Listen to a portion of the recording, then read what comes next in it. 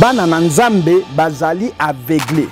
po biso ntango tozobunda na bastade tozobunda partout wana eza na bademon géant baza wana oyo bazobenda bato oh, bafoule me ngai na ndai kotambola na 12 000 demon nayebi so pendant naosala match 12 000 demon wana ezolanda nga tokoya kolobela yango omoni napasoli motu na epasola makila ezosopana bademo baotambola bato nyonso baolanda baobenda bango 1 litre 1 litre makila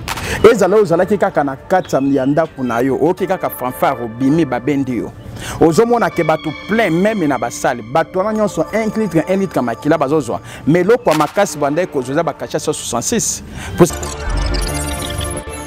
oyo ozomona ke non nazalaki na 12 000 demon par mois bazolia 12000 personnes wana mposa otika yango eza enveloppe pamba eza bato ebele baotambola baenveloppe pamba esi bachanza bango baza na kati ya prison ozomona asali masumu mabimi azongeli masumu enveloppe pamba nde bato bongo nde bozosacrifie non diable abaki bosimba bango te baza bantaba na ngai donc esi akanga bango heure nyonso akolinga kolia kolia batindaki biso toluka nde baoyo tokokaka komona bango to tomona bango makila to envoute bango basala masumu tokoya koloba na émission ekoya ndenge nini toandaki koenvoute bango basala masumu donc c'est possible aussi c'est aussi possible mpo na bino nde bozali nde bozali à l'époque basorcier wana bolie mpe paster ya église tobandaki kolia bapaster naza témoignage oyo ebatamaki te eh, donc moto eloko asala to esika uti ayebi te abimika ngai nazalaki nganga kisi ngai nazalaki boye ngai na te ngai misala oyo diable etilisaki ngai na yango pendant 24 ans eyebanaki na miso ya bato nyonso alobi nkombo eza babatize ngai na samai alobi kisimbi ngai nde nautaki likolo nakitaki nayebi nzambe koleka bikelamo nyonso enemi ya nzambe ya liboso ezali moto oyo abangaka nzambe te enemi ya nzambe ya mibale ezali moto oyo asalelaka nzambe te na biloko nzambe atie na maboko na ye enemi ya nzambe ya misato eza moto oyo asambelaka nzambe te bosala to botinda bato na badistraction bamvutima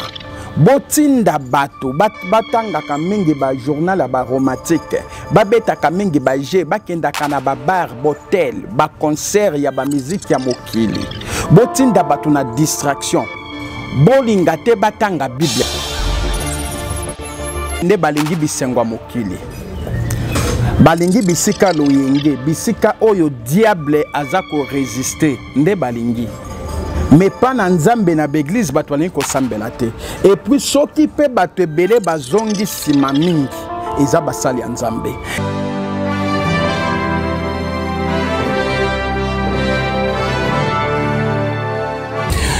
Voilà, bienvenue chez nous, mesdames et messieurs, chers amis téléspectateurs, bonjour et bonsoir. Ça dépend de l'heure à laquelle vous nous captez. Devant vous, Jérémy Louemba. Le renard du désert, en tout cas, merci pour la confiance. Merci pour la fidélité. Avant tout, je dis un clin d'œil spécial asema mayasi femme légitime agenci mayasi forza italia ya luzombala de madrid je vois maître siza sukama puissance ya mikili sans oublier eh, bandeko tout batalaka biso mama claudine luyeye qui nous capte religieusement depuis kinshasa mais voici avec un nouveau invité une personne que vous connaissez peut-être pas mais on va tous Le découvrir tout à l'heure à travers cette émission. L'homme, bonjour. Bonjour. Voilà, soyez les bienvenus. Monde entier Bautalabiso, c'est pour la toute première fois que nous vous recevons dans cette émission. Kombo Nani, Oza Nani, pe Utuapi. Oui, merci. Kombo Nangai, évangéliste euh, Daniel, Babenga Ranga pe Vasco. Naza évangéliste Kat na bandimi nyonso o bandimelaka yesu kristo voilà évangéliste daniel c'est vrai bato ebele batala à travers différentes chaînes ozali ancien catcheur congolais oyo bosalaka catch fétiche donc oza moto outa na monde ya molili oyo bobandaki kosala eh, osala yango kala oui. mm. eh, alors oyo emeka koepingle mwa mokie et moi parcours na yo quand même tango botami okoli otangi et puis okoti carrière ya sport osali catch osala combien de temps na catch obima kuna ndeni ok témoignage eza molai e nasali 24 ans na kati ya monde ya spirituel donc eh, na kati ya 24 ans wana makambo ya koloba eza ebele tokoya kobanda na ebandeli bongo bana na nzambe bakoya koyeba na suka ndenge nini nakutanaki na yesu kristo voilà 24 ans de carrière comme catcheur bozala na baedingoe bozala na bacatcheur ebele ebele eh, tout à l'heure oyebisi ngai lomo très capital okutana mpe na edingwe na baring bobunda hein? oui nabunda na ye bon publicité ngai nasalaka eza nkombo ya yesu kristo boza nalobaka na bajournaliste boa na mosala makasi ya kosala puiske ngai na témoignage vivant na témoignage moko te oyo eye kaka boye esika ebimeli motu na makolo bato bayebi te non naza témoignage vivant oyo nzambe asali nga ngolu esengeli témoignage oyo bokita ti esika oyo tovandi bokita na bastade nyonso oyo tobundi bakomba partout mpo ete bana na nzambe bamona ke motu oyo azalaki motu mabe koleka bato mabe me nzambe asaleli ngolu lelo azotatola nkombo na yesu kristo mpo ete esika yo okangami na masumu ezali otika masumu obongola motema donc nabundi na ye deux fois na série wana combat nil combat moko nalekaki na koganye ye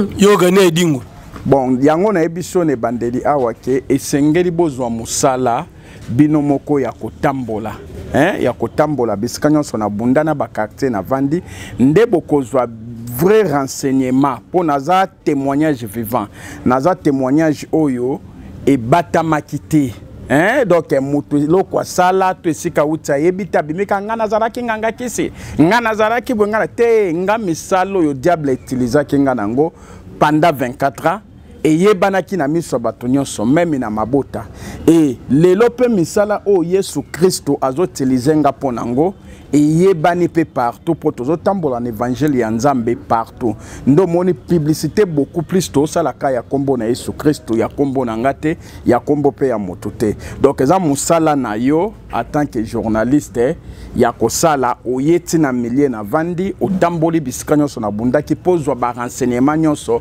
mpo lokumu ya nzambe emonana puiske soki bato mabe baotatola nkombo na yesu kristo oyo bazalaki bato mabe koleka bato mabe oyo ozomona keno nazalaki na 12 000 demon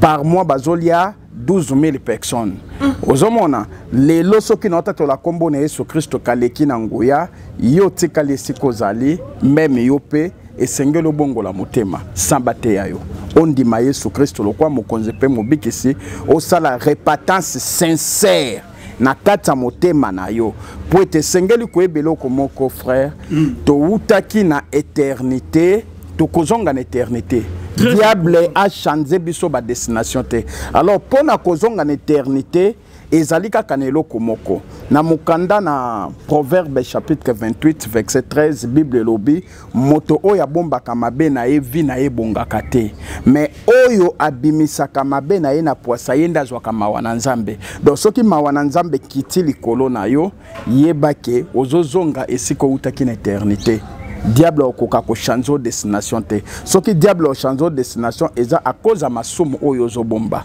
mpo lisumu eza lokola nyama oyo avandi na kati ya lidesu ntango ozobomba yango yango ka nde koboma yo voilà ça c'est très bien dit l'homme de dieu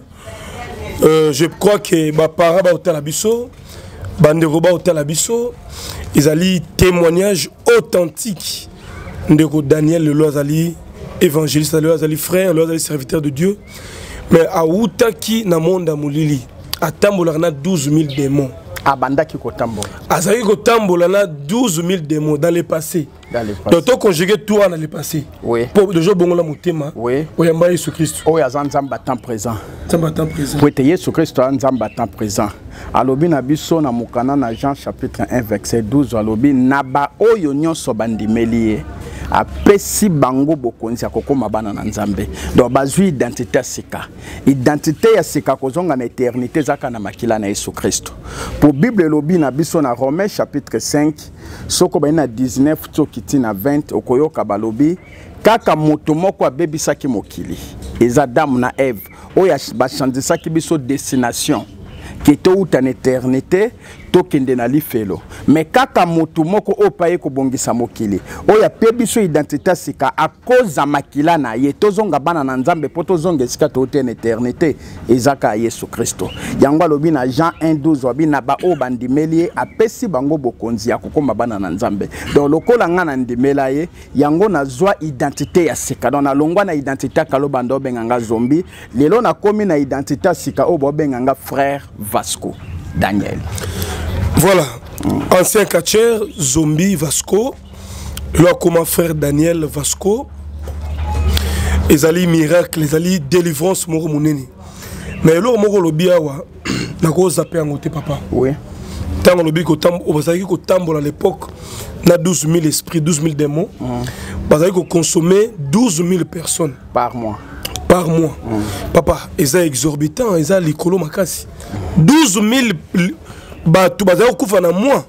ozali kosacrifie par mois c'est parce que ozwa bato yango na babalabala na bafoule na bamboka bato banokufa onozwa bango ndeni omoni oze 46 oze 46 nzambe alobi na biso bana na ngai babebisami na kozanga koyeba me lokola yo oyebi soko bokondima nga mpe nzambe natiki yo mm. ozomona lelo bato ebele na mokili batiki nzambe balandi bisengo ya mokili ozomona nakoyebi biso eloko moko omoni ete osala emission ya bato bazoleka miso mpe baotala biso mai toza de groupe ata ndenge toza ngai na yo na cameraman azofilme toza de groupe oyebi pourkui toza na bana na nzambe na bato na nzambe mm. bana na nzambe pourkui bana na nzambe bazali bato oyo bazotambola na kobanga nzambe bato oyo bazotambola na kosalela nzambe na biloko nzambe atie na maboko na bango na bato oyo bazali kosambela nzambe bango nde baza bana na nzambe bato na nzambe baza banani bato na nzambe baza bekelamo na nzambe eza bato oyo nzambe asali meme ndoki aza moto oyo nzambe asali meme nganga aza moto oyo nzambe asali meme ye moko lisife aza moto oyo nzambe asali donc aza moto na nzambe mai sikoyo esengeli tozala bato na bana na nzambe ke tozala bato na nzambe omoni mpo te bato na nzambe baa bekelamo na bato sikoyo komona bato ba, ba, ba, na nzambe oyo asali balingi kolanda bisengo ya mokili oyo mingi ke kosambela nzambe eza na bato ebele bazolanda ngai na yo sikoyo banda ntongo balamukaki basambeli kutu nzambe te mosusu okomona lelo asali ata deux ans ayebi ndenge bakendaka eglize te ayebi ndenge bafukamelaka nzambe te mpo asambela valala ayebi ndenge bafukamelaka nzambe te mpo abima ayebi ndenge basalelaka nzambe te wana bato na nzambe nazalaka distre kaka distre kolia komela wana bato na nzambe ok mwana na nzambe aza moto atambolaka na kobanga nzambe asalelaka nzambe na biloko nzambe apesi ye na maboko asambelaka nzambe ye wana mwana na nzambe yoka nayebisa yo mm. diable ayebisaki nga abenga alobi kisimbi kisimbi okoyoka ntango tokobanda témoignage na biso na ebandeli alobi nkombo eza babatize nga na se ya mai alobi kisimbi nga nde nautaki likolo nakitaki nayebi nzambe koleka bikelamo nyonso enemi ya nzambe ya liboso ezali moto oyo abangaka nzambe te enemi ya nzambe ya mibale ezali moto oyo asalelaka nzambe te na biloko nzambe atie na maboko na ye enemi ya nzambe ya misato eza moto asambelaka nzambe te bosala tu botinda bato na badistraction bamvutima botinda bato batangaka mingi bajournal ya baromantique babetaka mingi baje bakendaka na babar bahotel baconcert ya bamiziki ya mokili botinda bato na distraction bolinga te batanga bible mingi eza mpe na di komandima ya diable ozomona baoyo baza na masumu bosimba bango te baza yanga deja na kanga baoyo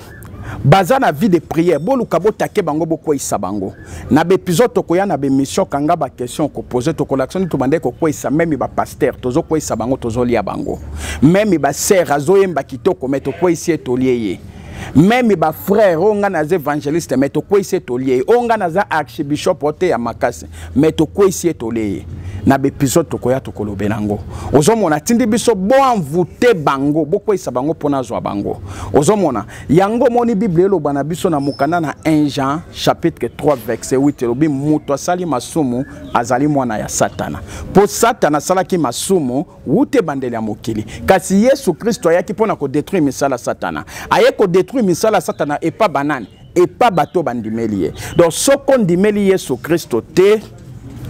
yeba ke oza na kati na prison ya satana ebele bazotambola ozomona bana bakati asa 66 bavivra na mokili oyo bavivra mpe na kati ya prison tokoya kolobela yango ndenge moto okoyeba ndenge nini ovivraka na kati ya prison tokoya kolobela yango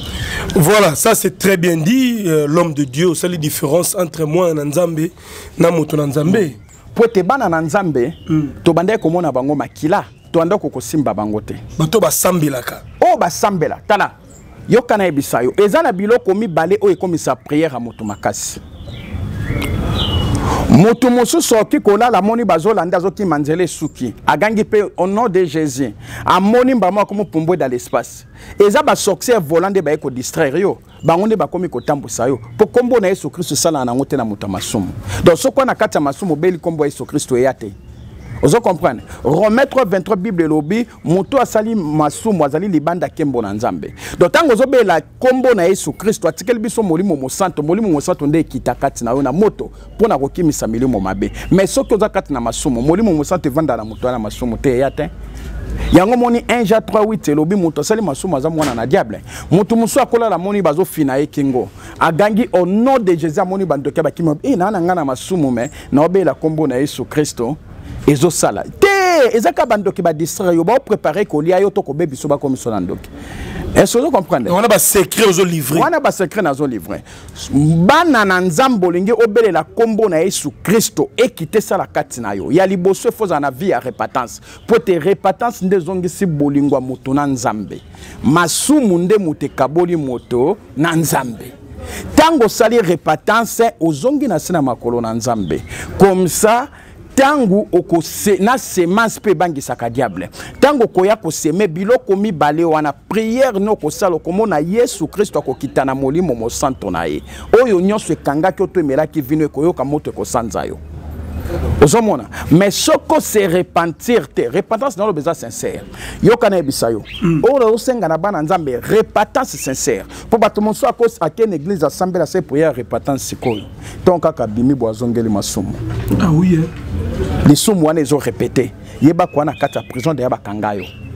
bashanza yo nde bayembaka mabe naboyi kosala yango nde nazali kosala ah. wana mposo otika yango eza enveloppe pamba eza bato ebele baotambola baenveloppe pamba esi bashanza bango baza na kati ya prison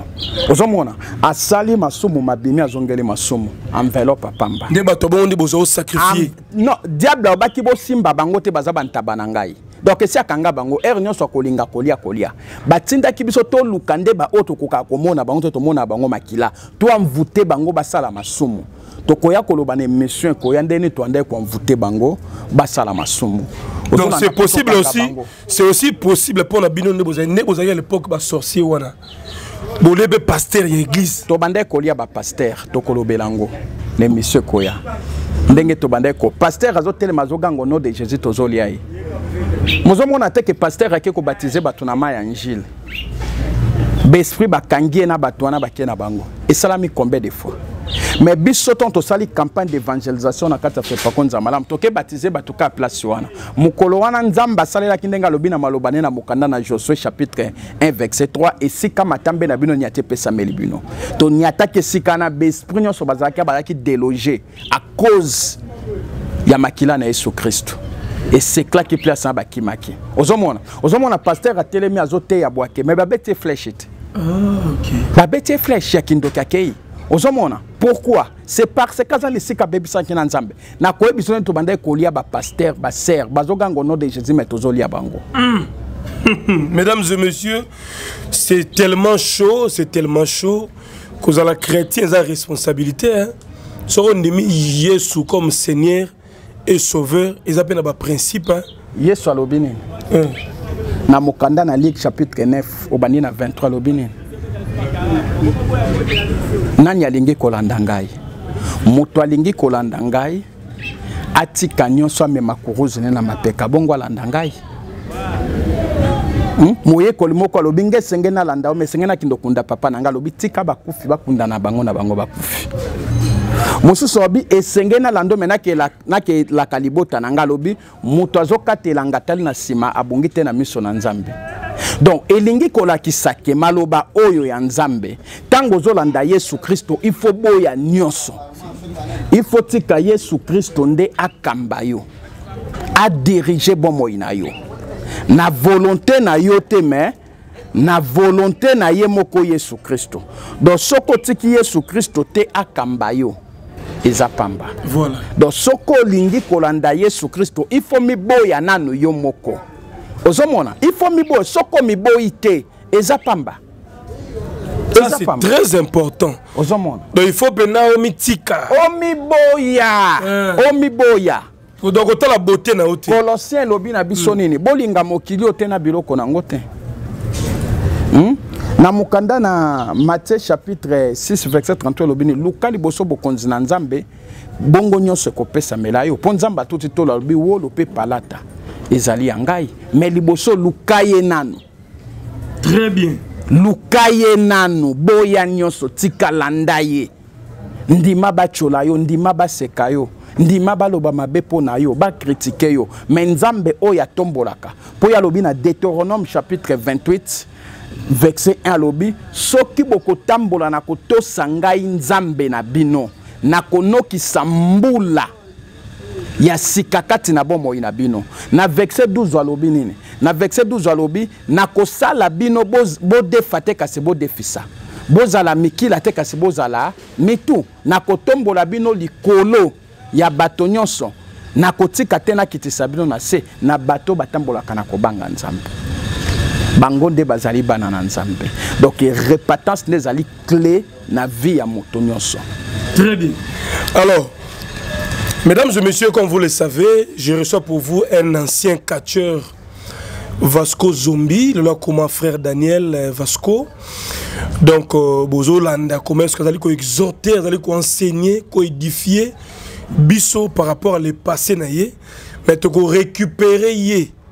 dans les prochains jours pour que tout dans la genèse il y a début à carrière comme catcheur durant les 24 années et puis Nathan Oyambela qui est sous Massia ça va encore beaucoup nous fortifier c'est vrai tout Nzambi mais faut tout ça y est pleinement pour tout bika nguya na c'est pourquoi moi biso ba chrétien to ressemble la mingi mais vie na bus ça bloqué tozo sambela la biso mais ba promesse ya nzambe tokoki kobénéficie na yango te mais ndeko vasco eza kaka parenthèse na fongoli mhm. olobaki awa ke ozalaka na kala ya kotambwa na 12 000 démon mais nayoki ozoba baverse kitoko ozoteya kitoko mais estce ba 12 000 démon wana batika yo réellement to ata mwa 12 to mwa 120 mo bazalaka mpe kaka na yo ok merci yango nayebi so oza na mosala ya kotambola partout mpo na ko korekolte batémoignage oui mpo epesa bana na nzambe so makasi bamona makambo nzambe azosala mm. ozomona so bakoya ndenge ni 12 000 esprit ok yango nalobi na yo ntango mm. tokoya ntango nakutani na yesu kristo na koma mpo nazalaki ebembe yesu kristo alokota nga ebembe nde apesa nga mission tokoya kolobela yango na suka e ntango e, eglize afepako nzambe malamu na nzela ya motambwisi papa erego aidi na bala abondeli bapaster nzambe e, paster chiban kiti Pasteur Jérémie Akiti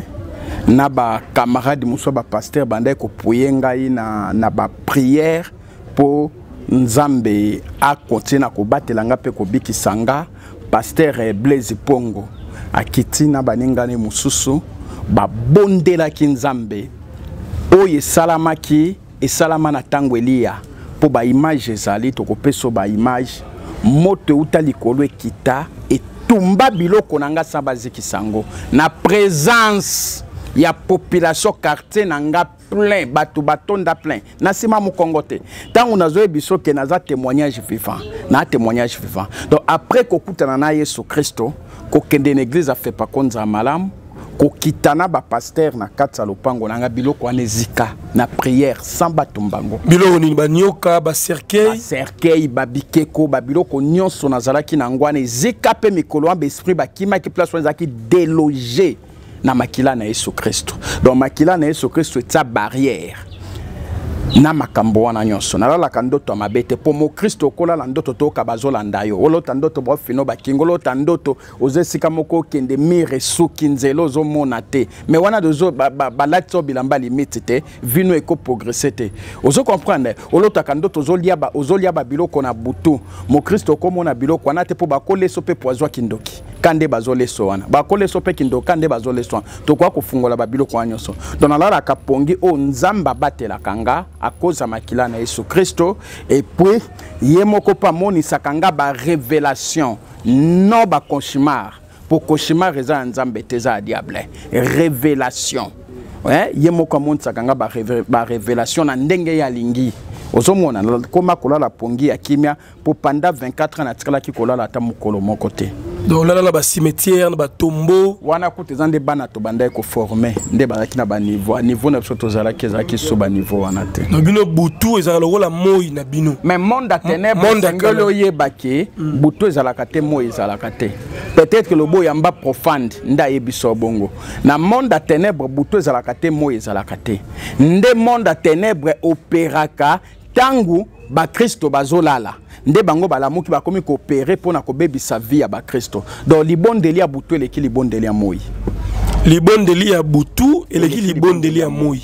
wana par rapport ya expérience oyo oza nango expérience oyo naza na yango puiske na mokanda na ezai chapitre 42 verset 6 à 7 nzambe alobi na biso naponi yo lokola lumière na nga kende kofungola bana na nga miso baoyo bakangami na prison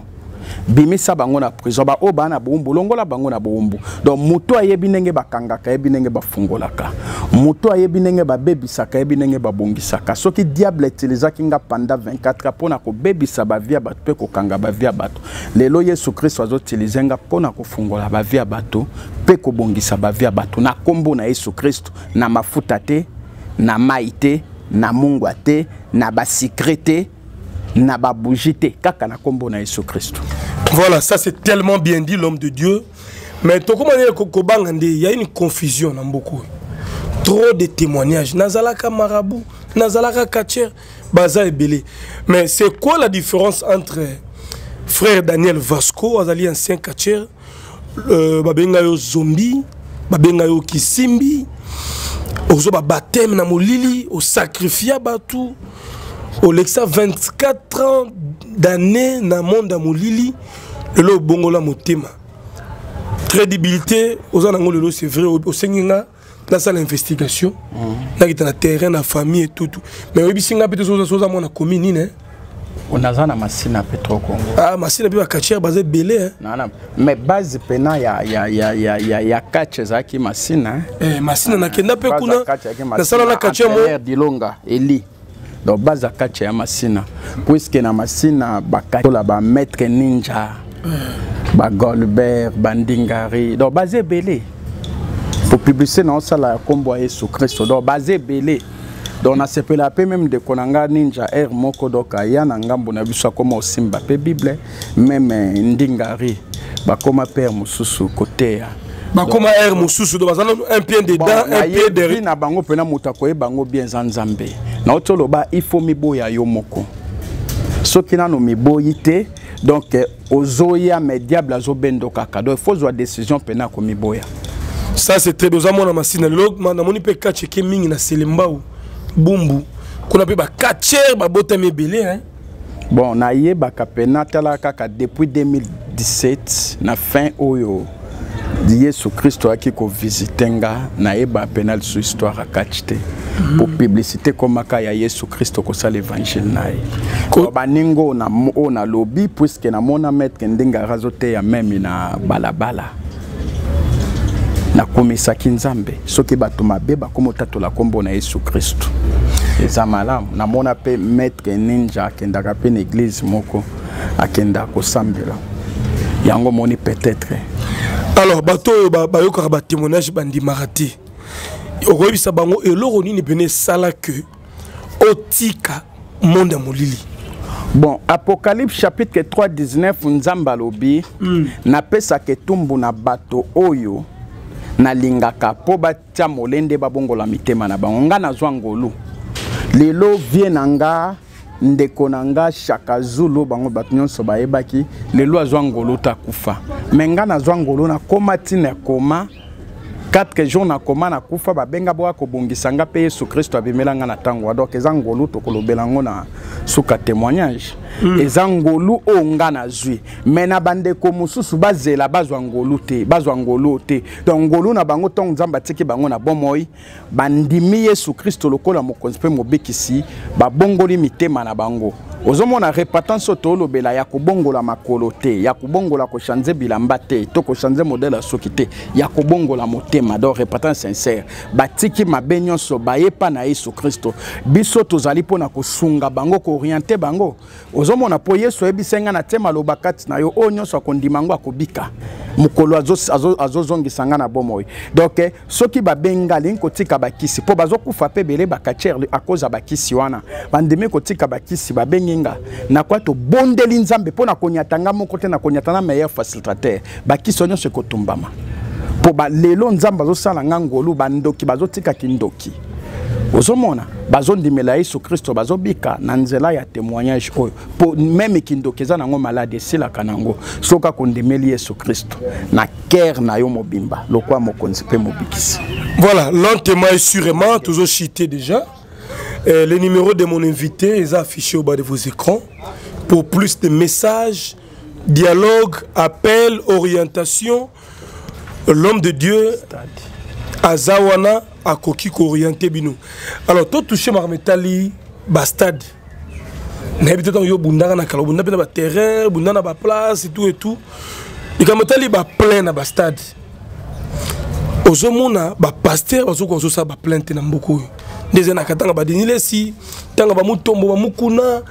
ntango ya ba, ba... baza kaka ti bakufa te eh, bazali me baplan yango oyo tomonaka na kala ke triomphal etondi walesa nde andimi kosala stade martin na 2023 bon namona bakatiere mpe belebaka na pa walesa batiki biloko batumbi yango entre guime babongoli motema tondimi yango mpo eza mama yesu alors tala plein oyo wenge muzika 4 fakati esali na stade martyr mpo na concert kaka public populaire nayebi te bastade wana baplein wana ezalaka mpe na basecret spirituel bon naosala mpena publicité ya bato te publicité ezali ya yesu kristo nde nazosala nazo nzambe alobi na biso na acte des apôtres elanga na ye eza monene mais basali na ye bazali mokie ozomona yango nayebisaki yo awa toza na bana na nzambe na bato na nzambe donc bato na nzambe nde balingi bisengo ya mokili balingi bisika loyenge bisika oyo diable aza koresiste nde balingi mais pas na nzambe na baeglize bato balingi kosambela te epuis soki mpe bato ebele bazongi nsima mingi eza basali ya nzambe yango nayebisi yo ke jugement ya basali ya nzambe ekozala diferent na jugement ya bapakano mpo eza na bato ebebanda ekosambela eh. biyoka nayebisa yo ndenge omoni baevangeliste ya nzambe bazali ndenge mpe baevangeliste ya satan bazali eza na bato ebele bakosi na baeglize lokola baevangeliste bapaster banani mais baza na bango kosala évangélisation ya satana baosala na bango évangélisation ya nzambe te ozomona baosala évangélisation ya nzambe te mais bana na nzambe bazali aveugle mpo biso ntango tozobunda na bastade tozobunda partout wana eza na bademon géant baza wana oyo bazobenda bato oh, bafoule me ngai na ndai kotambola na 12 000 demon nayebi so pendant naosala marche 12 000 demon wana ezolanda nga tokoya kolobela yango omoni napasoli motu na epasola makila ezosopana bademo ya baotambola bato nyonso baolanda baobenda bango 1 litre 1 litre makila ezala oyo ozalaki kaka na kati ya ndako na yo oyoki kaka fanfare obimi babendi yo ozomona ke bato plein meme na basale bato wana nyonso 1 litre 1 litre makila bazozwa ma eloko ya makasi bandaki kozwa eza bakasha 166 puisque kasha 166 yango nde numero ya nini ya, ya prison ozomona donc esika nyonso cérémonie ya diable esalami meme na stade meme na terrain meme wapi wapi wapi na baveni bato batondi plein soki esalamaki na cérémonie ya diable yebaki bato nyonso baye wana bazwi bakasha 66 bake na prison yango nayebi so ebele bazotambola baza deya na kati ya prison mais bamiyebi te ke baovivre na prison voilà lisolo ya bastade boyoki baverité bolika soki oke événement musicien kati oyo bunda moke plein to bato bayaki ebele wana babendaka bango ba 1 litre maki wana nga nde na nde kosala wana ndenge nga na yoso ozobundana na 12000 demo na nga eh. kasi bamusicien na bacatcher bozalaka bato nalobi boye awa naobet naosala témoignage na nga na publicité ya yesu kristu naosala publicité ya bato te mpo nga na témoignage vivant mpo nga na nde kopesa na ba pasteur na ba musicien na ba commerçant na bato ya ndenge nyonso na ndenge kopia bango bakisi alors ntango na opesa témoignage yo siko ozali oza na vie ya mabe ya change eza kaka na nzela moko efo landa nzela moko efo kende obina nzela moko efo kende oyemba eza kaka epai na yesu kristo na eglise mais na eglise mpe nini mpo eglise nyonso oyo okomona bazopesa bauile basikre bamungwa baprochete bamai banzete bapratike eza nango nzambe te mpo yesu kristo atikeli biso eloko moko eza nguya molimo mosanto yesu alobi nakebongisela bino esika nakotika bino bana bitike te nakotindela bino nguya molimo mosanto ye nde aza mosungi na bino na kati ya molimo mosanto mai ezali mungu ezali mafuta eyali basikre eyali nyonso eza na kati wana donc ye moko kaka nde asalaka nini abikisaka voilà ça c'est bien mais ntango otravara mpe à l'époque na monde yango ya molili wana otravara mpe na wenge bon nalobi naosa publicité ya yesu kristo naosa publicité ya bato te donc meme nga moko publicité eza ya nkombo na nga te yango natindaki okende bisika na vandi yo moko okende ozwa renseignement opesa na bana nzambe awa naye kolakisa bana na nzambe soki okota esika moko bapesa yo singa loketo bapesa yo nzungu tia na, na, na sambeto bapesa yo molangi moko bapesa yo wili bapesa yo mafuta bapesa yo mungwa bapesa yo sikre bapesa yo nini esika ozali obengi nga nimero eza 081 43 30 475 ata oza wapi nakolakisa totumbi yango oyambi yesu kristo lokola mokonzi mpe mobikisi obiki mpo na libela mpo ozongi na eternité voilà merci beaucoup frère vasco daniel je crois que c'est une première partie tosali kaka symbiose totouche un peu le tout mpo ke bato bacomprendre grandeur ya nzambe le dieu vivant tolingaka nzambe mais totiango na misala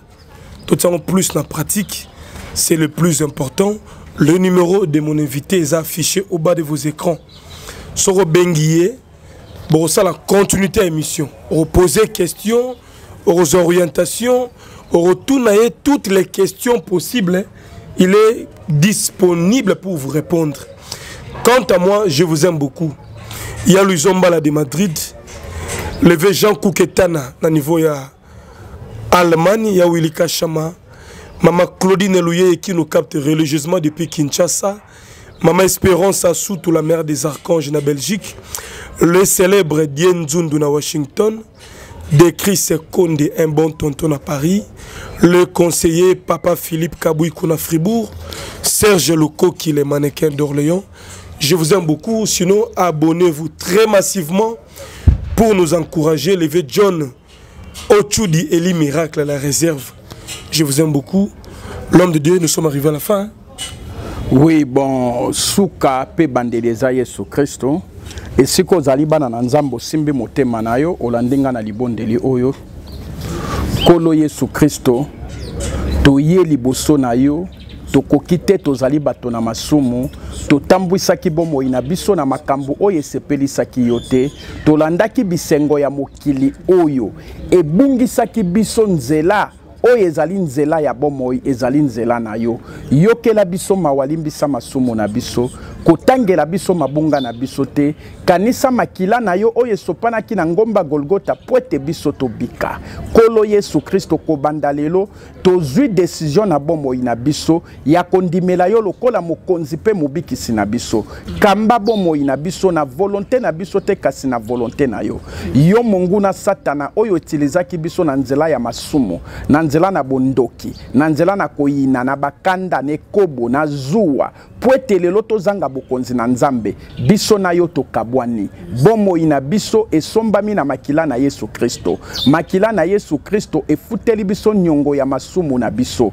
nkolo yesu kristo kobanda lelo nasengi epai na yo papa efase nkombo na biso na buku nyonso ya satana koma nkombo na biso na buku na yo ya bomoi bongo lelo zonga vanda kati na bomoi na biso banda kodirige bomoi na biso kopimela biso nguya molimo mosanto na yo te yesu kristo pesa biso nguya molimo mosanto na yo edirige bomoi na biso ekontrole bomoi na biso ezala facilitatere na kati na bomoi na biso toluka eloko moko te na makasi kasi yo oza liboso na biso mpo na kogide biso na nkombo na yesu kristo nguya molimo mosanto ekitaka na moto ekita na bomoi na biso na moto esika nyonso bamelaki vi na biso prison nyonso bakotisaki biso bayoka moto basanza biso na nkombo na yesu kristo mokonzi mpe mobikisi na biso amen soki olandi témoignage oyo sala prière repentance oyo okozonga na se na makolo na nzambe olingi kobenga Numero yango wana topesi ezali 00243 81 30 43 475 obengi biso tokosolola tokosambela tokopartage maxi nzambe apambola bino voilà merci l'homme de dieu nous sommes bénis de partout vous nous suivez tobandi baserie émission avec l'homme de dieu tokozwa batémoignage na ye tokoyoka histoire na ye tokoprie na ye ensemble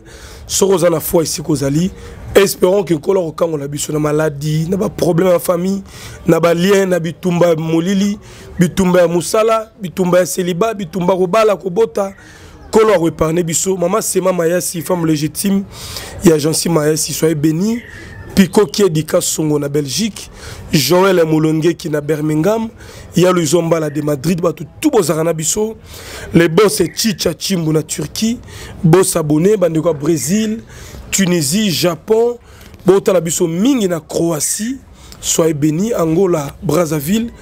Quant à moi, je vous remercie. Bye bye. Balingi pe kolanda na chaîne na biso pe zali babeti DVM Daniel TV. Donc DVM Daniel TV. Vous mettez DVM na majuscule, au bakisi Daniel TV. Et ça peut chaîne, mais messieurs en akati, au Kolanda, Kwezitete numéro en wana affiché 081 43 30 400. 75 nzambe azala na bino oyo topesi kaka mwa mungwa moke komsa bokolanda biso na première partie ti na dernière partie nzambe apambola bino amen babaye merci merci gloire à dieu